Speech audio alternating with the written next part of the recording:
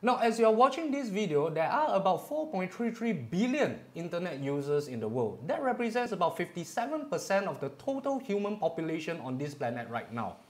And out of these people, um, about 51% of you are accessing the internet through your mobile devices. There are about 1.7 billion websites on the internet right now, and uh, the average person spends about six and a half hours uh, on the internet each day. All this happened uh, within a mere short 28 years. It was only in 1991 that the internet was available to the public. Now, in these 28 years, uh, society has gone through a major shift in uh, habits and uh, practices. Uh, for example, today we spend more time shopping online, uh, we learn a lot of things online, and we get our entertainment online. Netflix, anyone? And heck, you're even listening to a story through this channel right now. In fact, uh, this kind of uh, societal changes has happened quite a few times throughout history. It happened when the newspapers became popular and uh, the magazines became popular, and before that, uh, there was a proliferation of books. At the core of all these changes was actually just a simple upgrade or evolution of the platform upon which information is being disseminated to the public. It is a change or an upgrade in the way that uh, ideas and thoughts are communicated to people or among people.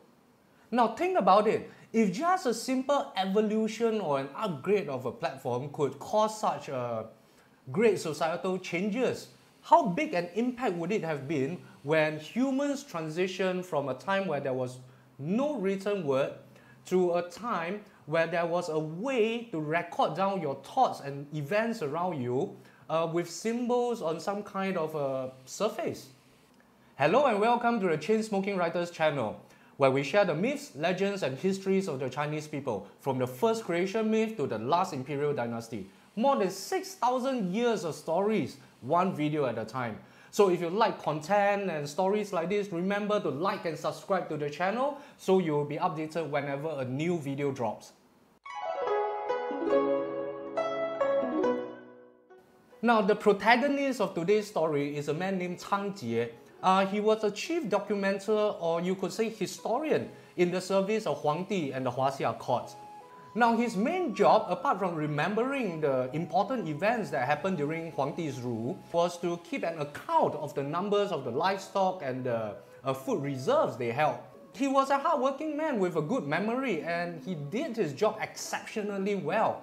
But with the daily movements of livestock and food reserves and all the transactions that were going on, uh, even his prodigious uh, memory could not keep up with everything that was going on. Now, this caused endless distress to him, and he was desperate to find a solution to the problem. So, at first, he used a method of tying knots in uh, strings or ropes to remember things. And this was a method that was passed down by Sui Ren, the fire starter. And you could find a link to that video up here. He used different colors to represent the different items that he was tracking. And it worked for a while. But over time, as the population started growing and the items he needed to keep track of started uh, growing as well, uh, it became more and more tedious and inefficient. So he then came up with um, tying loops in the strings and uh, filling those loops with different kinds of shells and rocks to represent the different items that he was uh, tracking. So when the number depleted, he would remove a shell. When the, the numbers increase, he would add the shell back.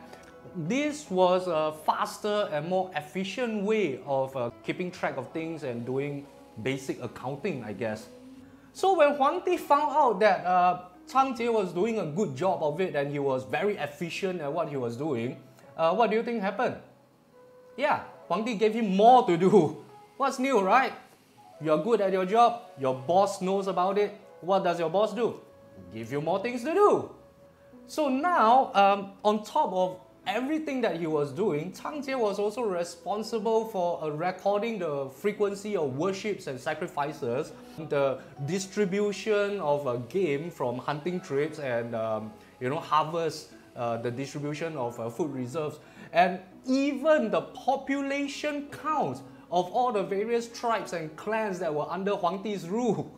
Now with so much more complexities and variables coming in and out of the numbers, the string and shell method is proving to be woefully inadequate at uh, doing the job and there was no way to keep an accurate and updated uh, accounting of all the numbers that was like, you know, coming in and out.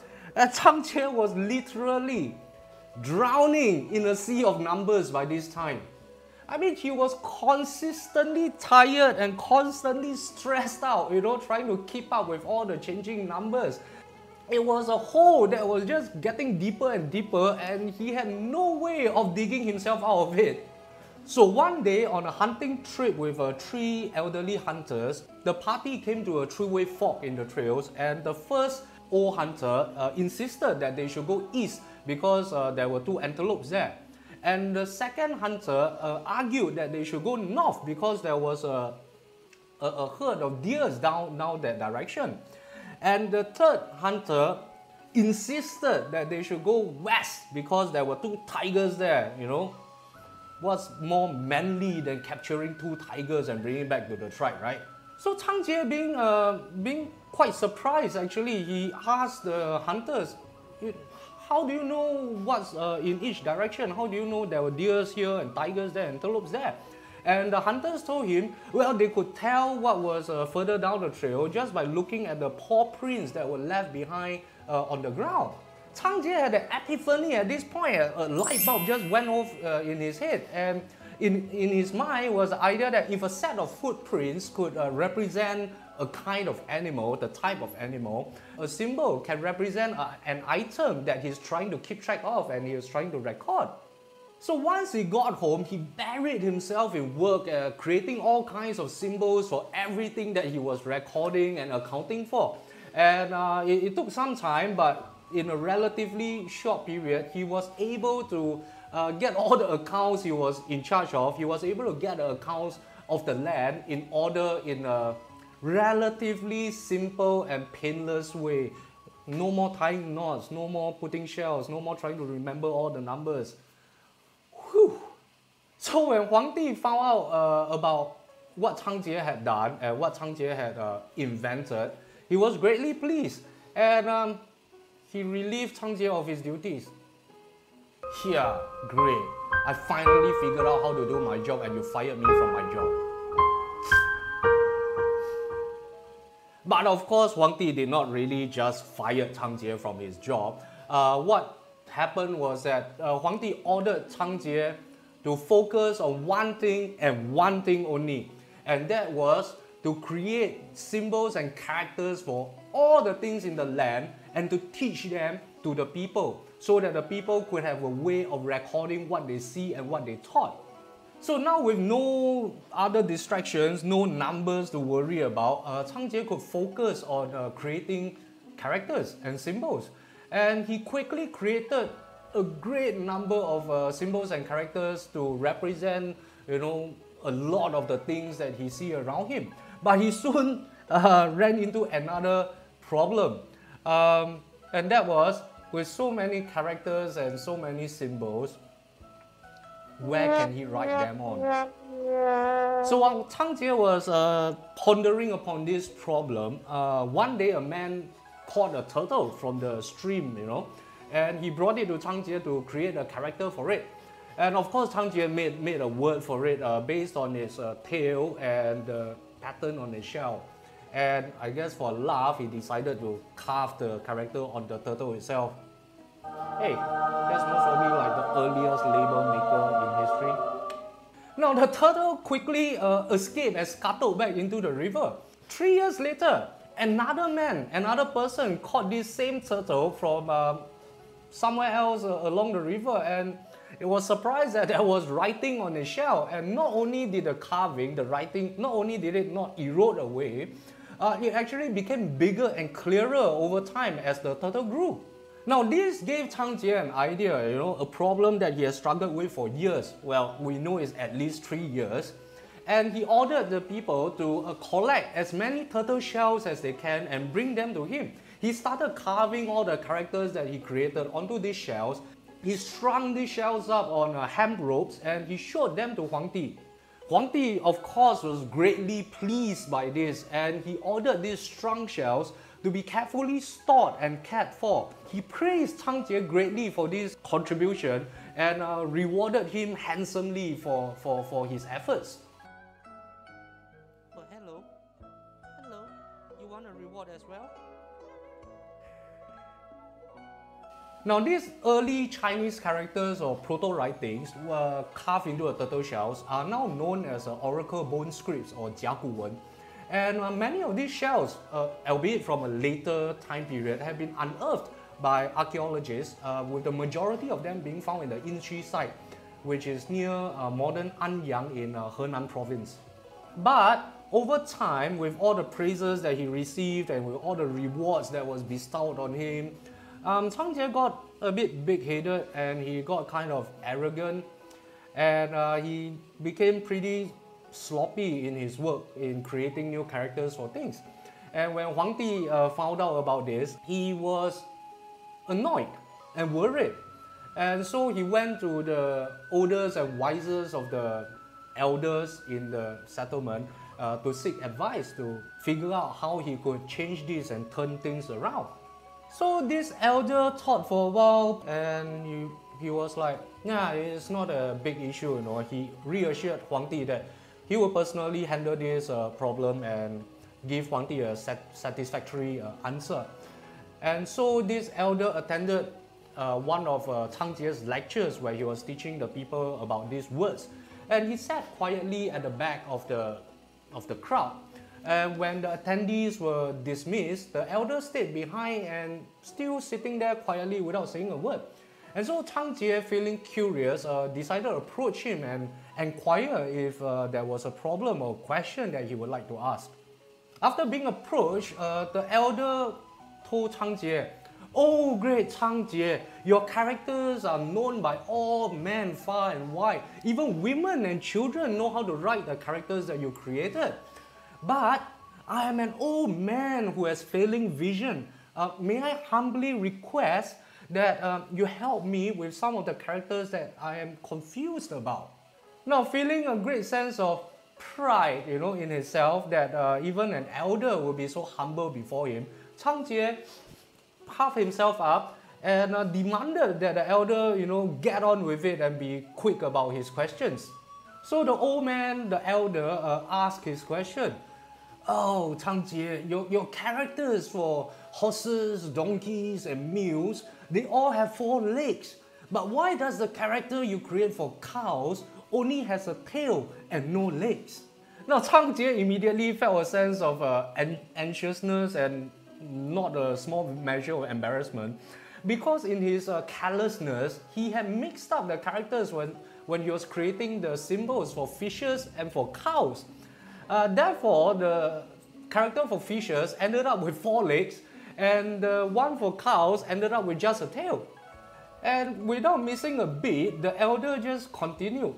Oh, Cang Jie, the character you created for Heavy has symbols that represents a distance of a thousand li, and it looks like it means going out to a distant place, but you taught the people that it should be understood as being heavy. On the other hand, the character that you created to mean out, as in going out, has two mountains stacked on top of one another, which looks to my old frail eyes to be extremely heavy.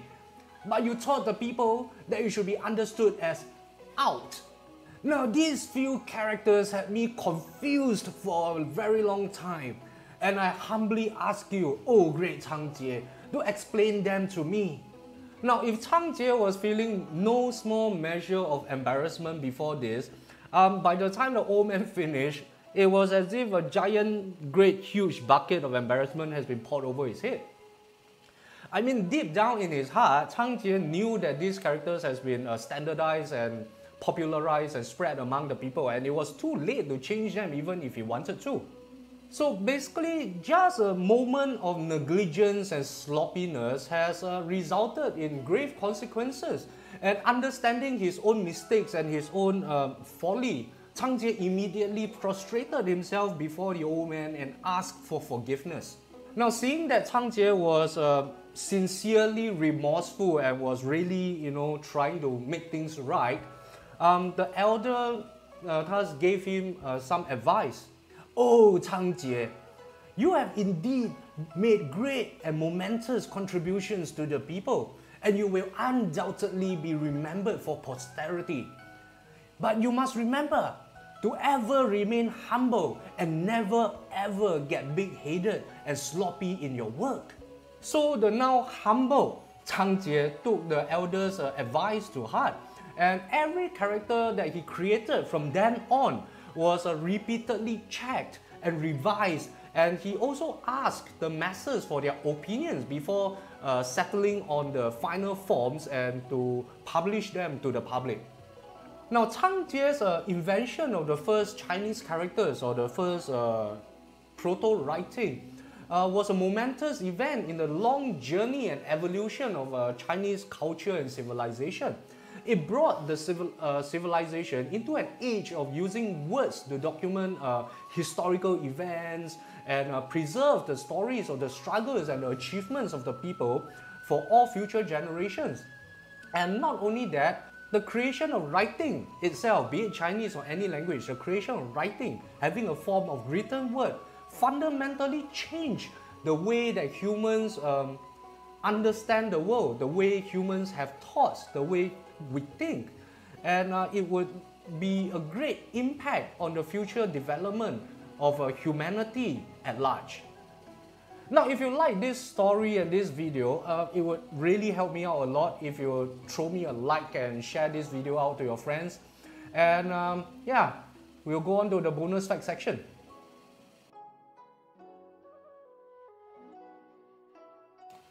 Now, although in this story we uh, attributed the invention of uh, writing uh, to Cang Jie, well, at least the writing of the early Chinese language. We know that the writing systems of the early Bronze Age were not a sudden invention that popped out of nowhere. Rather, they were developed. They were a development based on the earlier traditions of symbol system, which I believe what this uh, story was talking about, a kind of proto-writing, which means that uh, it's a system that cannot be classified as proper writing, but uh, have many characteristics of writing. And uh, they use uh, ideographic or early mnemonic symbols to uh, convey information. Now these uh, systems, they emerge in uh, early Neolithic periods and uh, as early as the 7th millennium BC or 7000 BC. Now in the context of this story specifically, we know that in China, we found the Jiahu symbols that were, that were carved on tortoise shells, like what the story said they were found in 24 Neolithic uh, grave sites that was uh, excavated at uh, Jiahu in uh, Henan province in northern China. And the radiocarbon dating of these uh, artifacts uh, dated them to about 7000 BC. And uh, most archaeologists consider these um, not really directly linked to the earliest true writings. Now, the earliest confirmed Chinese script or Chinese writing were the oracle bone scripts that were carved on tortoise shells or actually on bronze uh, vessels that were found on the, uh, in the Yinxu sites, as I mentioned earlier. And these were from the Shang dynasty, which was much later in the timeline from the story that we are talking about. Now, the earliest of these uh, bone oracle scripts or Jiagu Wen were actually dated to about 1200 BC, which would put it roughly around the middle of the Shang dynasty. Now, as I mentioned earlier, there have been uh, proto-writings being uh, discovered uh, in Jiahu, which dates uh, to about 6000 7000 BC. But whether or not these uh, carvings, these symbols can be considered uh, proper writing is uh, still highly debatable among the academics uh, among uh, historians and archaeologists. Now at Damaidi at the Ningxia Hui Autonomous Region, um, 3,172 cliff carvings have been um, found and they were dated to about 6,000 to 5,000 BC. Now these wall carvings or characters are said to be very similar or coincides with the very earliest uh, confirmed Chinese uh, written characters. And if this claim is verified, then it would put uh, the discovery of Chinese written language about 2,000 years earlier than the cuneiform writings of the Mesopotamian culture. This would really change, um, in a way, change history as we know it. Now, if you'd like to support my work or just connect with me on other social media platforms, you can find all the links down in the description box below and most probably it will be appearing here. Yeah. If you like uh, this video and stories and content like this in general, uh, remember to hit the like and subscribe and um, share it with your friends. I mean, share the videos out far and wide. It would really help me and help the channel out a lot.